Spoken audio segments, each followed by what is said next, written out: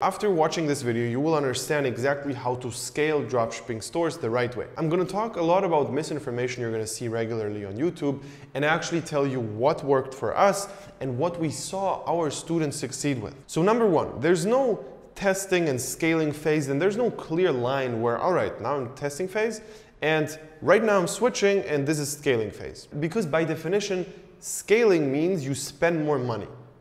And when you test a new creative or a test a new interest, you scale because you test a new thing and that test requires new money. So instantly by testing something, you scale automatically, okay? And this is exactly how scaling works. You always test new things and then take the things which actually you tested before and they worked well and spend more money on them. And that's basically called horizontal testing and vertical testing. Horizontal means you test a bunch of different things. So let's say you test five audiences, they do decent, and then you test another five different audiences, or five new creatives, or five new offers, or just new things. And that's horizontal testing. And then you have things which work the best. You test 10 audiences, and one of them just strikes you as having by far the best cost per purchase, the best ROAS, everything is the best on that one. You take that one and create it again okay? And you just start spending more money on that particular ad set and that audience. Now, there are huge mistakes which you can do when scaling vertically. A lot of people think that if one thing just does really well, you start spending more money on that and you're gonna make more money. So let's say you have a $10 ad set, which does amazing.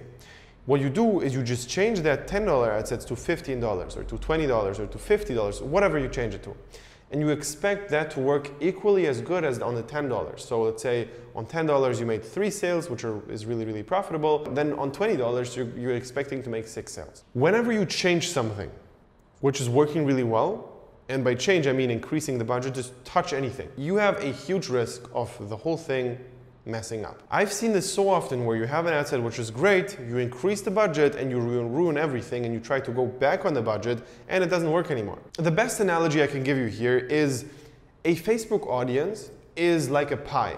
So you have this pie of all the people which are inside of that audience. Let's take dogs. And you just target the word dogs and the whole pie is not going to be targeted. It's just going to be a slice of that pie which you're targeting in reality because you only spend $10 per day. You cannot like show the ad to everybody, okay? Then you change something about the ad set and instantly you target a different slice of that pie. If you change anything, you, if you change the creative, if you change whatever you change about the ad set, you're targeting a different slice. Now sometimes nothing happens because the entire pie is amazing and everything works, works great.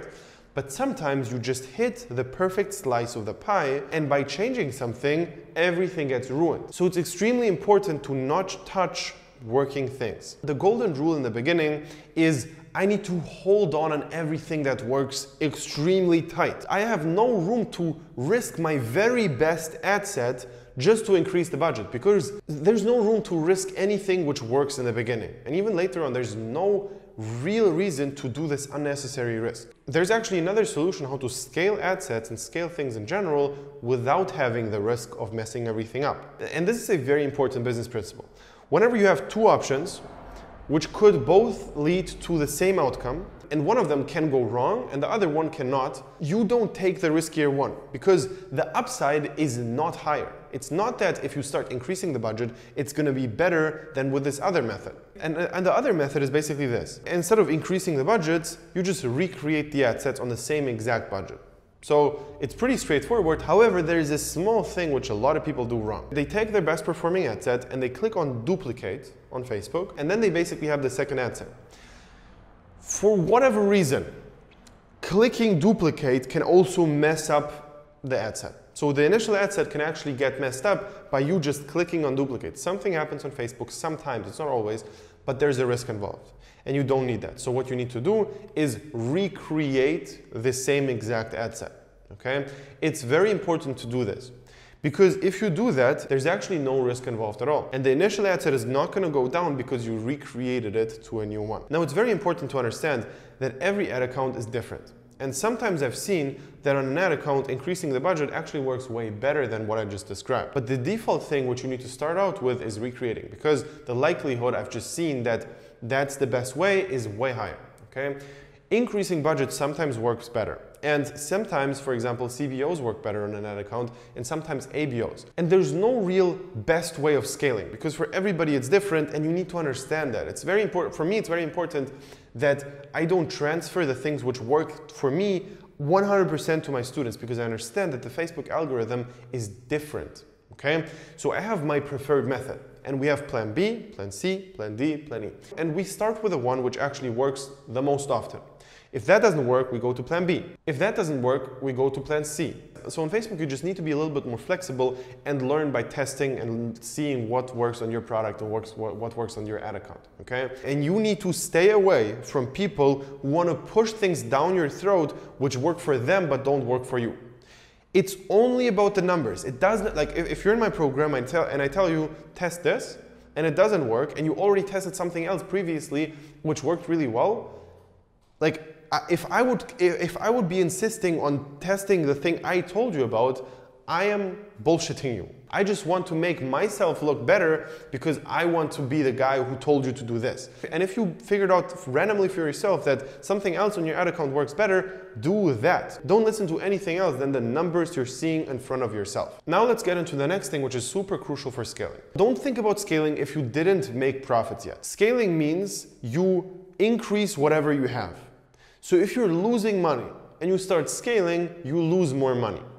And I know this sounds very basic to most of you. However, I've seen a lot of people come to me showing me how they scaled unprofitable things. And it's just crazy to me. So what you need to capitalize on is groups which work for you, okay? What I mean by that is, for example, on your ad account, you see that one audience with one creative works really, really well. And you tested a bunch of other things, but this is the thing which works extremely well. You need to focus on that the most, and most of your new budget which comes into Facebook is going to be spent on there.